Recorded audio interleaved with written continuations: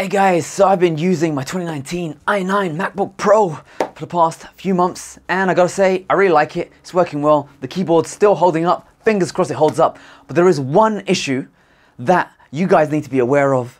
I've been using this fix for the last few months. I'm very happy with it. I'm gonna let you know what the situation is.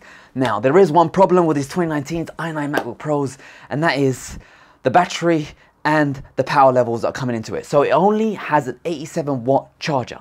What that means is the i9 CPUs, they can ask for like 100 watts of power on demand at any moment.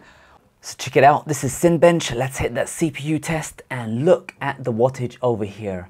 At the beginning, it shoots up 100 watts of power. It just drains it straight away, hits its thermal limits straight away. And as you can see, the performance wise, it shot to four gigahertz, dropped down because it got too hot. Look at that. It got to nine, it got to 100 because it spikes up to 100 watts, demanded way too much, and then it dropped down to normal levels. Secondly, this, this level of 60 watts to 55 watts, if you're using the GPU on top of that, it's gonna start draining the battery as well. What that means is, you're gonna be constantly dipping into your battery plus the 87 watts just to get enough charge to get this CPU to perform for what it asks for performing. So what I found when I use my intensive heavy workflows, I do a lot of video encoding, I do a lot of programming, I do lots of video editing, I do lots of, I do too much for the system, so I'm constantly hitting it hard. So what I found is that the battery life is completely getting hammered. I've used up loads of cycles, in the first week just using too much. So initially I left my laptop encoding videos overnight and as you can see look at that drainage all the way down to 5% then it shoots up goes down again shoots up and it goes down again and shoots up. But I'm going to break down the fix and this fix is for advanced users only. This fix is for advanced users only. If you're not an advanced user just get Apple Care and when the battery gets drained, Apple will replace your battery for you and you're good to go. But if you don't like fan noise and you want to get the best performance, watt ratio, all that kind of goodness, this is the guide for you. And it involves using an app called Voltage Shift. And this is a free app. I'll show you exactly how to use it. You've got to use some terminal command lines. If you guys want a graphical user interface, maybe I can program one up for you. Let me know in the comment section below. All right, so by default, we've seen that the CPU can demand up to 100 watts of power. Now I'm using voltage shift and I've written some scripts to handle it for me. So I'm gonna use something called low power. So this script, it will limit my secondary power limit to 27 watts and it involves this command. I'll explain exactly how to do it shortly, but let me just show you this guy working. So let me fire up that Cinebench again. I'm gonna hit run and look at Intel Power Gadget. Look how much power. It only maxes out to 60 watts now. Now because it's only maxing out at 60 watts, look at it. It's no longer overheating. It's only at 88, 89 degrees at the moment. It's not shooting up to 100 degrees anymore. It's hit that ceiling of 60 watts and it's hitting that max power for a very long time. It's not spiking up and then dropping down like before, hitting it for a very long time and then it reduces it for a very long time, keeps on going to 50, and you can see the temperature of the CPU. It got through the entire Cinebench experiment at only 85 degrees centigrade. So look at that amazingness. We hit the maximum wattage demand of 60 watts, then it dropped it down to 50, and then if I ran this for longer, it will drop it down again 27 watts. And we still got a pretty high score of Cinebench, considering that I'm frigging using Final Cut Pro at this very moment. So it doesn't actually reduce the power of this amazing computer, but it does allow you to have a nice, solid, amazing experience. So let me just show you this again. This script in itself does this magical hexadecimal code, very complicated to do. I'll explain how it works and I'll show you where I got the guide from. But this guy uses two turbo power limits. It sets the maximum to 60 watts and it sets the long-term turbo to 27 watts. And I find this is amazing for my i9 MacBook Pro. Keeps it cool, quiet, and amazing. Now guys, if you're not an advanced user and you're just looking for something basic to use to get yourself going, don't do this method. There's a free app called Turbo Boost Switcher. Type into Google, it's the number one on the list right there.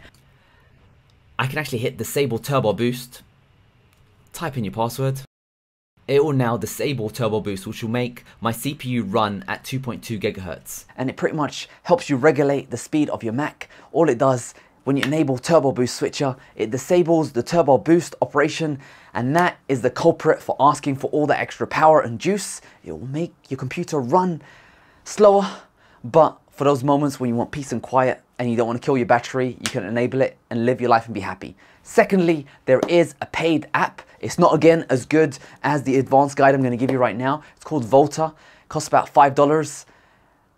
It does most of the job. Alright, so on Google, hit Volta and then realize it's not Alessandro Volta you want. You want Volta Mac, the top link at the top by GaryMathews.com.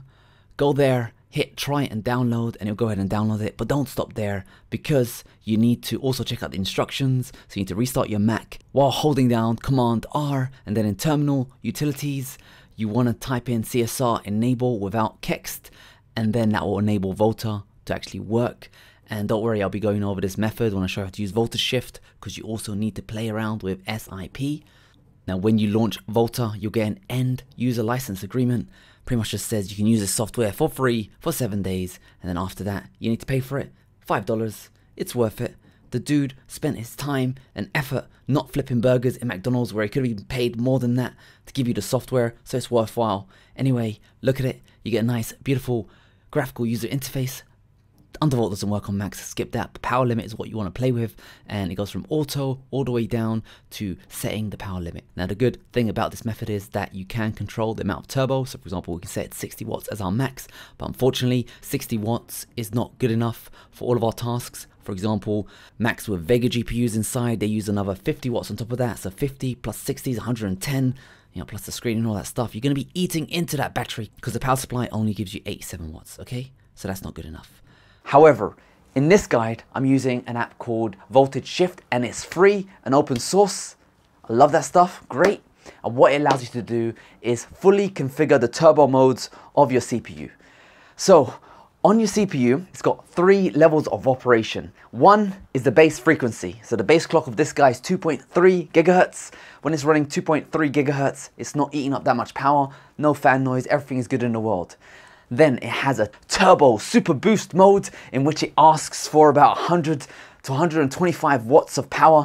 And this is great. For example, when you launch an application that has a really tiny amount of operations to be done, it does it super quick and you're happy with the world. And it constantly dips and eats into the power. So after about 10 seconds of it super turboing, it dips the frequency to around 3 gigahertz or 3.3 gigahertz, depending on what you're doing. And that is the turbo boost frequency that I want to modulate. So I don't want it to go all the way down to 2.3 gigahertz because that's a bit too slow. And I don't want it to be using 3.3 gigahertz because it asks for about 65 watts of power plus the GPU is asking for power, your monitor's asking for power. It eats up too much into the 87 watt limit and we end up dipping into the battery long term, which means if I leave my computer encoding a video overnight, I'll wake up the next day and the battery is drained dead. Now this is a problem with Mac. I've submitted it to Apple. They don't want to fix it. It's just a problem with i9s and it also happens on Windows. Check my other video for the fix on that. So what voltage shift allows you to do, and it is technical, it allows you to set both the maximum turbo frequency, the middle turbo frequency, and that's yeah, that's pretty much it. The maximum and the turbo frequency. And that means if I'm doing any long operations, it's not gonna make the fans go crazy and it's not gonna drain into the battery, but it will still give me a nice performance boost over the 23 watt limit of the 2.3 gigahertz that it comes out of the box. So hope you enjoyed the guide. Again, this one is for advanced users only. So buyer beware, all that kind of stuff. I'm gonna get pretty technical about it. There's lots of numerical code you need to memorize hex, decimal, and all that stuff. But I hope you enjoyed the show and enjoy it. All right, so type voltage shift into Google and it's the top link right there. Now this project actually contains all the source code for voltage shift and you can actually compile and build this all yourself. If you want to know how to do that, let me know in the comment section below and I'll post a how-to guide on my coding channel Xcreate.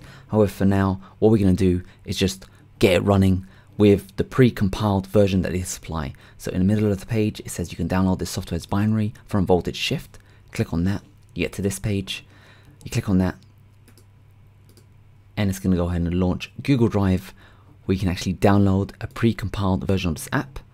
Now, of course, I prefer compiling this all myself, but I'm just going to show you the pre-compiled version because it's easy to use. Now, Once it's downloaded, you just extract that zip. Everyone knows how to do that. Perfect. So we've got this new folder called Voltage Shift and I've downloaded it to my desktop. So over in Terminal, you right click on Terminal or you press Command space, type in Terminal and you'll get a window like this. You type in cd space, you drag that folder in and it gives you the whole path. You enter and there you go, you're inside ls-l that just shows you the contents of the directory. You've got two files, you've got the kext, which is the driver, and you got voltage shift right there.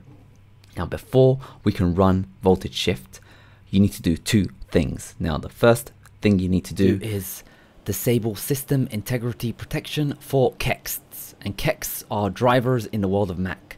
So you need to restart your system into recovery mode, go into terminal, utilities, and type in this command to enable system integrity protection for everything other than kexts.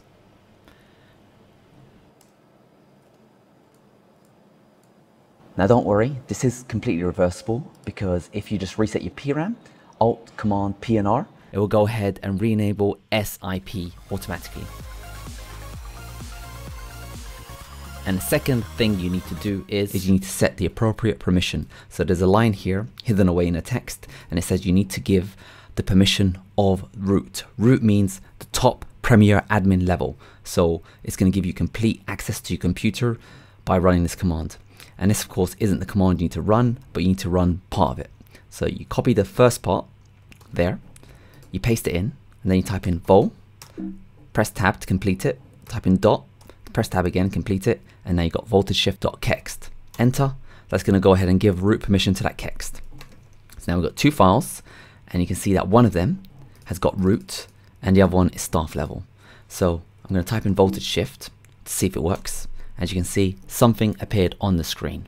Perfect. I'm going to type in voltage shift info, and again, all of these parameters appeared on the screen. So right now my CPU is this, that, and the other, and if you go ahead and look through this, it's going to have all of these different parameters you can use for voltage shift, including undervolting, changing GP, all that stuff. I've tested this stuff out. It doesn't actually work on the latest Macs, unfortunately, but you can set the TPD, and that's what we're going to be doing right now. And to do that, it is complicated, but again, I'll talk you through this step by step. So first, what you want to do is type in this command, voltage shift space read space 0x610. That's going to tell you your current setting, this crazy number right there. So I'm going to break this number down to you.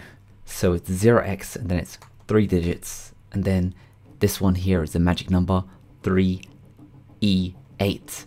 and then it's another two digits and then this one here is another magic number DD and then it's an 8 and then this last three digits are magic numbers. So this one, 3E8, actually means 1000. Now, 1000 divided by 8 is 125.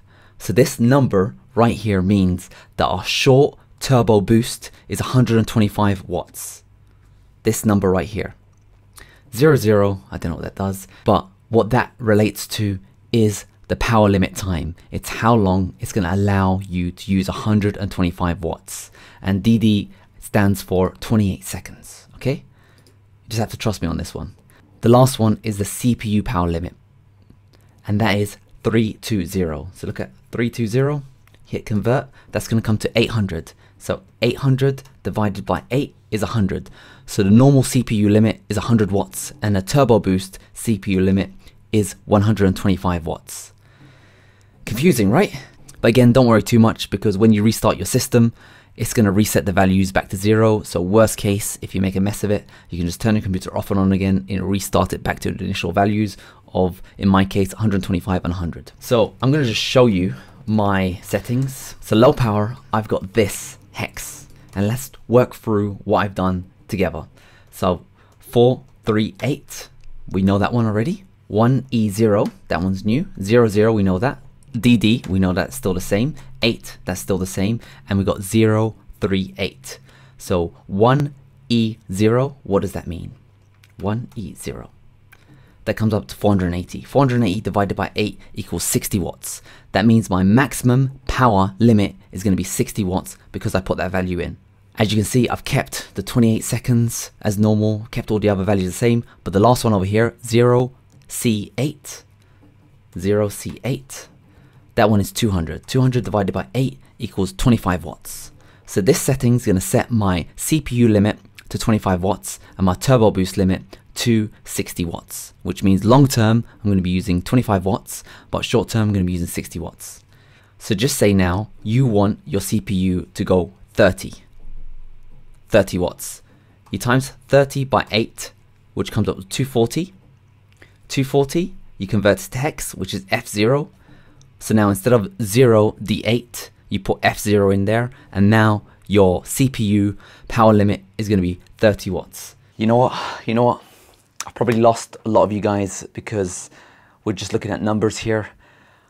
If you understood what I was cooking, you probably understand what's going on and you can probably do these scripts and all that stuff yourselves. I'm just going to stop right here because I feel like I'm just getting a bit too advanced and I don't want you guys out there to follow this guide and make a mess of things on your system. If you guys want some more information, just leave a comment in the comment section below and I can gladly expand on this. Maybe I'll give another crack, I'll get a whiteboard out or whatever, or maybe I'll make a, a, GUI for this, an app to help you out with this situation. But basically it is possible to set your power limits for your CPU. And when you do, you have a lot cooler experience on your Mac. Previously on my 2018 MacBook Pro, my keyboard was a wreck and I have heard a lot of people saying that the keys probably get damaged a lot quicker because the CPU is always overheating.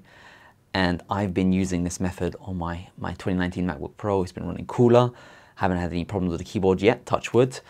So maybe it is a long-term beneficiary. I'll let you know how I evolve with this system going forward. But I've been using this honestly since week two of this system because my battery was getting wrecked. But I'm gonna stop right here. If you wanna know more, just let me know in the comment section below. But if you kind of understood where I was going and how it works, then you can probably, you probably know how to do it by now because I've given you more than enough information.